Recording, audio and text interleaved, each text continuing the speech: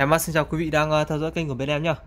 Em ờ, lên sóng cho các bác một cái con công suất của dòng Victor, đấy, dòng ờ, 3 thớt 33 uh, khai CD này, đấy.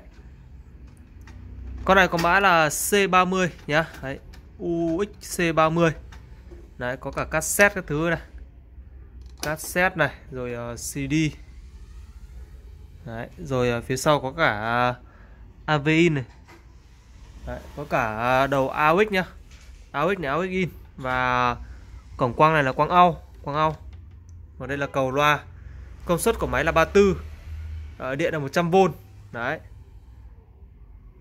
Con này thì em bán ờ, cho các bác về ờ, nghiên cứu nhá. Đấy. Về cho các bác nghiên cứu. Đấy nguồn thì cắm vẫn thấy lên đây. Đấy, cắm nguồn vẫn thấy lên. Đấy. Đấy, cắm nguồn vẫn tới lên nhưng mà tuy nhiên thì cái nút nguồn này có vẻ là nó hơi kẹt hay gì đấy rồi. Đây.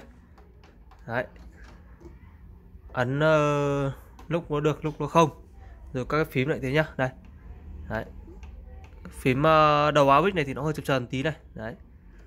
Thì nói chung thì con này em bán thanh lý về cho các bác gọi là lấy linh kiện hay là lấy cáp nhá. Đấy lấy linh kiện hay lấy cáp thôi. Đấy, dòng Victor. Đấy, nhìn con máy này kiểu cái kiểu dáng thiết kế rất lì lợm quý vị nhá rất lì lợm. Đấy thì uh, bác nào mà đang cần những con này về lấy cáp hay là lấy uh, cái uh, uh, linh kiện gì thì alo cho em nhá. Đấy giá còn em uh, thanh lý cho các bác nhá là 290 nhá giá 290 thôi để cho bác hai trăm rưỡi nhá. Thanh lý cho các bác nhanh hai trăm rưỡi cho con này nhá. Đấy.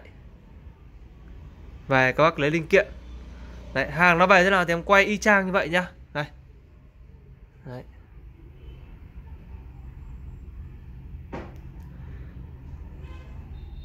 Victor các bác nhá, bác là chốt thì báo cho cái mã là Victor C30. Đấy, Victor C30. ba khay CD này, Đấy, có một cái cassette này, rồi có cổng AUX cái thứ. vâng, em xin chào các bác và hẹn gặp lại tại video tiếp theo bên em nhá.